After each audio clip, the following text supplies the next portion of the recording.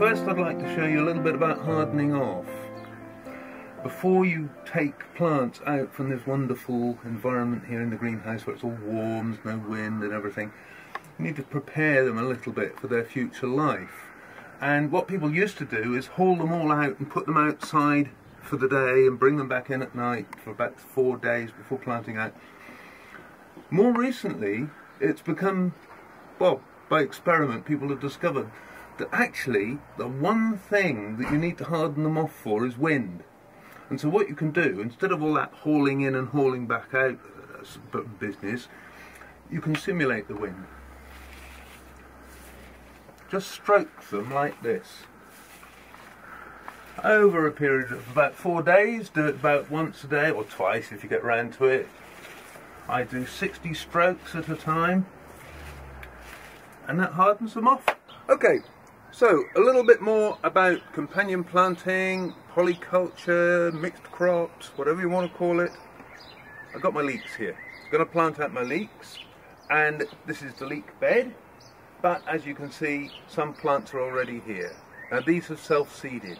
That means I didn't sow them or plant them. There were another generation of plants here last year, they produced seed, and the seed fell to the ground, and up it's come. And we've got some foxgloves, which are self-seeded, and this one over here, which is garden orache, which is a little salad plant. And so I'm going to work the uh, leeks around them.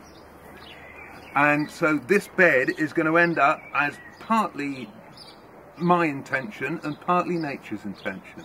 So you could see that as, as, as a combination. It's my style of gardening. I think one thing about gardening is everybody needs to find their own style. Okay, here I'm planting leeks. Excellent vegetable, easy to grow, fantastic stuff throughout the winter. First I'm going to loosen the soil and then I'm going to put the plants in and then I'm going to water them in. Press down on it and then just slightly ease it a little bit like that. Normally I wouldn't, uh, I wouldn't bother with loosening the soil, but we haven't had much rain recently. The soil's very hard. I'm going to be planting with a dibber rather than a trowel and I need to be able to get that into the ground. This is a no-dig garden. I never dig. But loosening the soil a little bit is not the same as digging. I'm not disturbing the soil profile. So what I do, I put the, put the fork in Stage two is to measure where the plants are going. So we'll have one in the corner there and they go in at nine inches apart. This is my 18 inch measuring trowel. So I measure to there and then we'll have one in between. Then, then coming this way, 18 inches, 9 inches, and I won't put another one here because we're getting too close to the foxgloves. Those foxgloves are going to grow. So that's as far as we're going in this direction. Stage three, make a hole. Pop the plant in. And then water it in.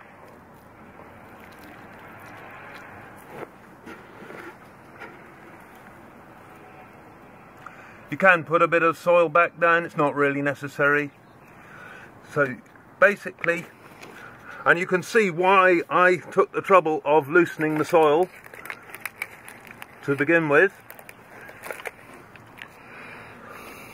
Pop in the plant, let it go right down, and then water it in. So this watering is very similar to what I did with the other plants I'm getting the water down there into the bottom of the hole where the plant needs it. Not pouring it on the surface. They don't need water on the surface, they need the water where their roots are. So these plants are actually a little bit smaller than I would really like to plant them out, but I'm going away. I'm going away to teach a course and I won't be able to wait for a week or two for them to get any bigger. So they'll be all right like this. But they might have preferred to be a little bit bigger. About the size of a pencil. is the ideal size for leeks. So I tried to get the plant down into the bottom of the hole because where it's covered by soil it won't go green and that's what you want. You want a, white part on the bottom of the leek. So you make the holes reasonably deep and get your plants well down into them. Here we have the garlic and if you look at the garlic you can see it's already beginning to go yellow. So it'll be another three or four weeks before we're harvesting this garlic. And so in the meantime I can plant some of this purple sprouting broccoli in between the garlic plants and it can start growing it's ready to go out if I waited three or four weeks it would be too late. So it can start growing. Now while the garlic is just going through the last part of its life cycle. So what I'm doing here is I'm making more complete use of the land. The timing is quite important on this.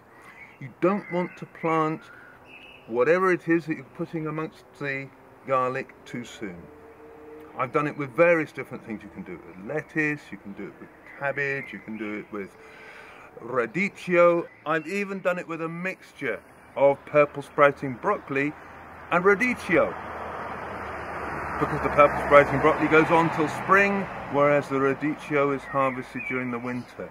So it's working with time, working with time, but always make sure that the things aren't too close together and they don't crowd each other too much.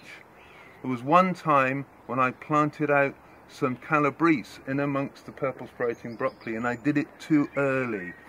And by the time the purple sprouting, by the time I took out the garlic, the calabrese was really short of space and it never came to anything.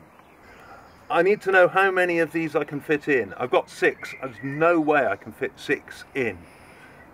The purple sprouting broccoli needs to be placed at sort of three feet, 90 centimeters apart, maybe 60 centimeters, two feet at a, at a pinch. Let's see how much space we've got. Using my trusty measuring tool.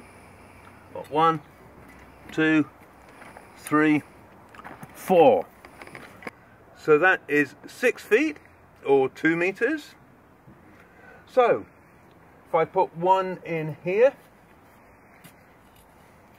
and one, two, another one in here, that'll be about right. I, I would love to fit another one in there, but that would just be squeezing it in too much. So you've got to be careful about spacing. I mean, this applies to gardening anyway, but it applies even more when you're doing mixtures don't try to crowd things too much. Okay, so I've told you a little bit about how I plant vegetables, and later on I'll be showing you lots of other things about how I grow things in the garden.